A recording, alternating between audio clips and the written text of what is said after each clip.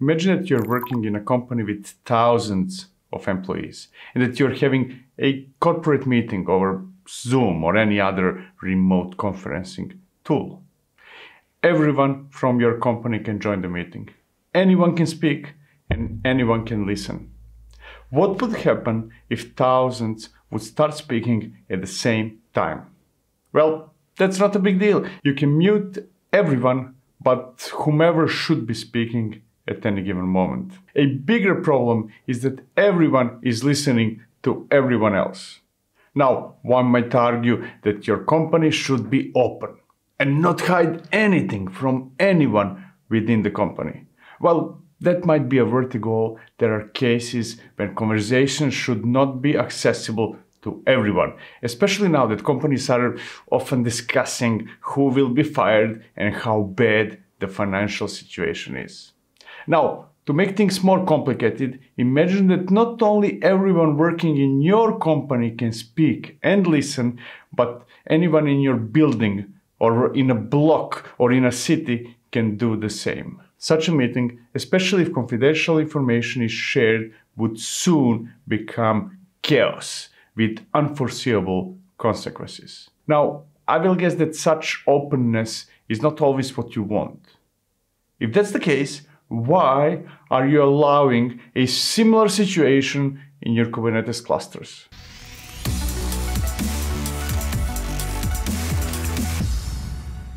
In Kubernetes, any pod can reach any other pod through services. And that's amazing, right?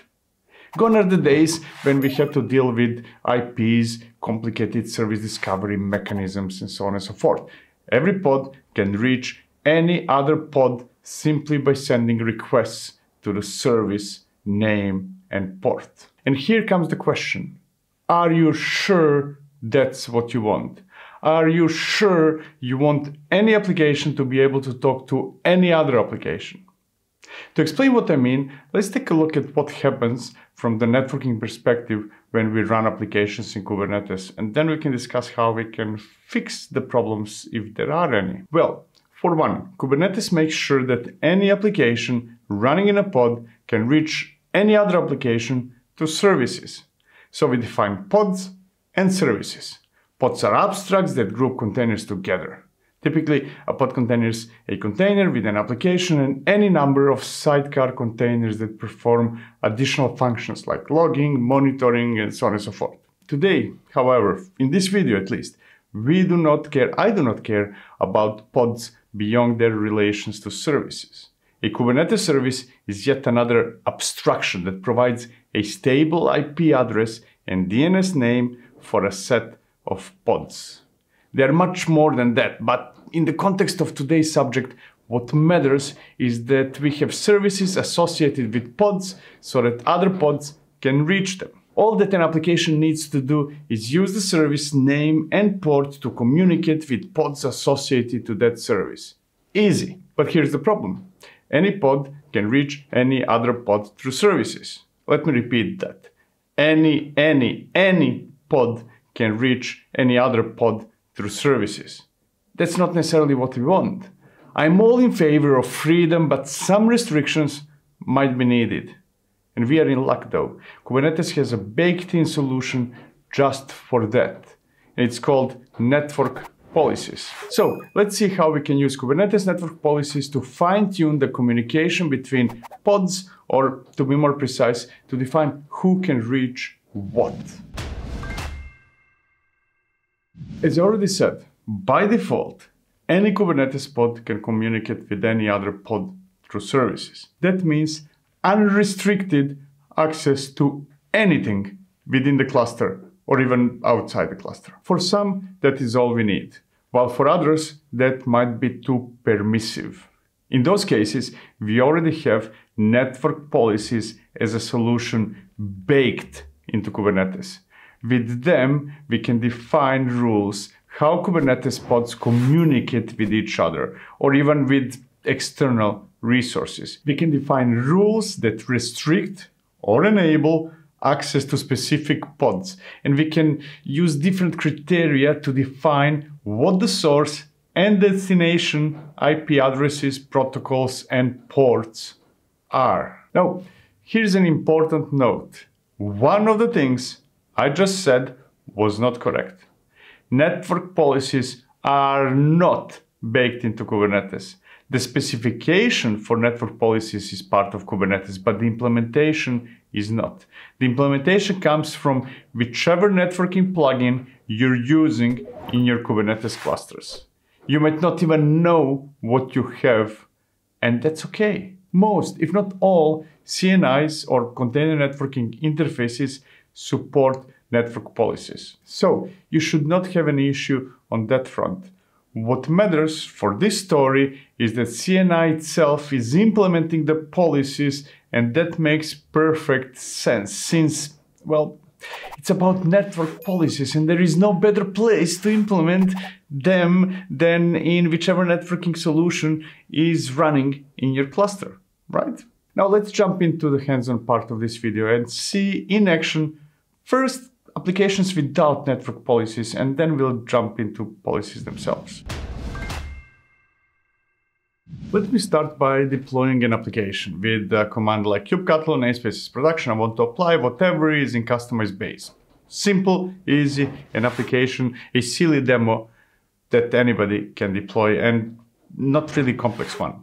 Just a service deployment and ingress, right? Now, to demonstrate how networking works and later on policies, I'm going to deploy a second application, but it's not going to be an application. It's going to be uh, just a container running in a pod with a Alpine image, and then I'm going to enter into it and do stuff. Anyways, let me execute kubectl namespace staging. I want to run other app image is going to be Alpine. I don't want it ever to restart. I want to remove it and after it's finished and std in and tty and I want to sh into it, right? So I'm just entering into a container and then I'm going to install curl with apk add dash u curl. Now I have CURL, I can send requests to my first application. And remember, this one is running in a different namespace. This one is running in staging, while the previous one was running, is running still in production. So here comes the moment of truth. From an application running in the staging namespace, I'm going to send the request to the application running in the production namespace. And I'm going to do that by executing CURL and then HTTP silly demo, that's the name of the service and dot production, the name of the namespace, and port is 8080, and I'm getting the response, this is a silly demo, and so on and so forth.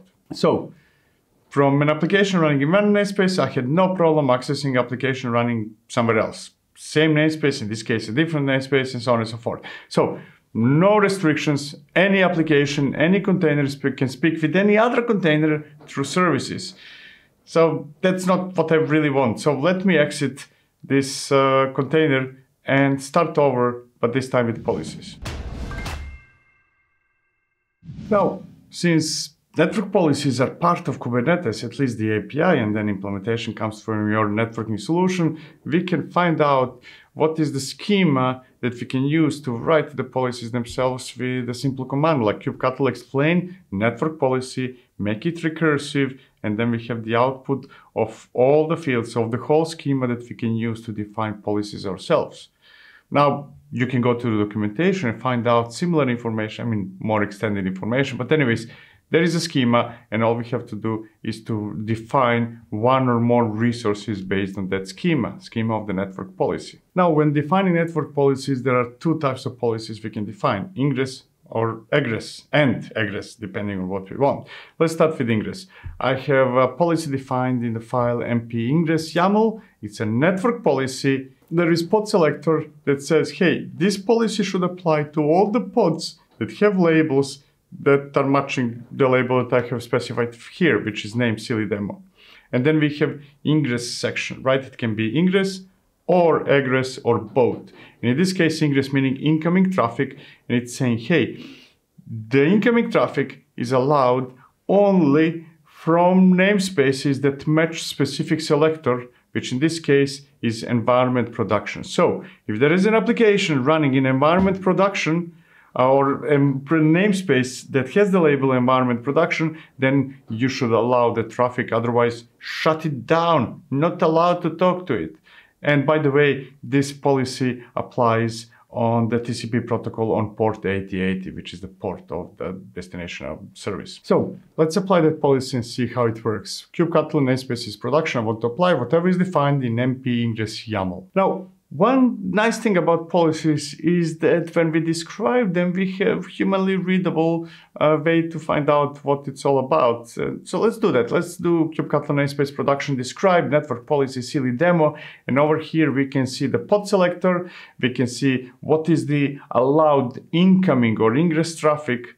And we can see that it is not affecting egress, at least not yet, meaning that this application can communicate outbound to whomever but ingress is restricted to this namespace or namespace selector and that port. Now, let's run through a couple of scenarios. We have a policy that says, hey, if you want to talk to this application, you need to be in one of the namespaces with uh, the label environment set to production. So I'm going to do something else. I'm going to rerun the previous second application based on Alpine image in the staging namespace. So kubectl namespace is staging. I want to run some other application, Alpine image, no, never restart, RM, stdl, all that stuff.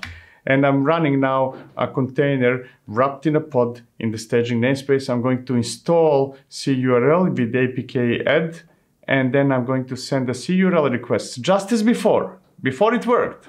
But now I'm going to send a CURL request to Silly Demo in production on port 8080 and the output says, no, you cannot connect to it. Doesn't work, baby. No, no, no, no, no. The policy does not allow you to speak with that thingy, with that service. So let me exit and repeat the same command to create a container in a pod, but this time I'm going to change the namespace from staging to production. And let's see. So that's the only change. Same thing in a different namespace, but this namespace is allowed to communicate with Silly Demo. So I'm inside the container, I'm installing CURL, and then I send a CURL request to Silly Demo on port 8080. I do not have to specify the namespace because namespace is the same, and I got the response. So some things are allowed, some things are not. In this case, it all depends on the namespace. It worked. Now let's exit this container and see what else we can do. Even better, actually, let's forget about communication between pods. Let's just see whether we can access the, the application through ingress, right? From outside of the cluster, completely unrelated with what we are doing so far, meaning restricting internal communication. So what happens if I send CURL request to the application from outside of the cluster? And the result is bad gateway. Doesn't work. And now you might say, hey, I never restricted ingress from outside of the cluster, but you did. You just don't know about it because you need to understand how ingress works. You already probably know because you watched my videos. So you know that ingress traffic means that something enters the cluster and then it goes to the service of the ingress controller and from that service goes to your application, to the service of your application. And we never said that that should be allowed. Let me explain. Here we have another policy uh, it's almost the same as the previous one. At least the first part, the first entry in the ingress section is the same. But we have a second section in the ingress specification that says, hey, apart from allowing the communication from the namespace that has environment production label, I want to also allow uh, communication from the namespace called cube system. Why do I have to do that? Well, I have to do that because the traffic comes from outside cluster to kube system service running in actually to the service ingress service running in the kube system namespace. And from there on it's forwarded there right? So you need to understand how communication in kubernetes works. If you want to apply policies and not get shut uh, in your back because of that.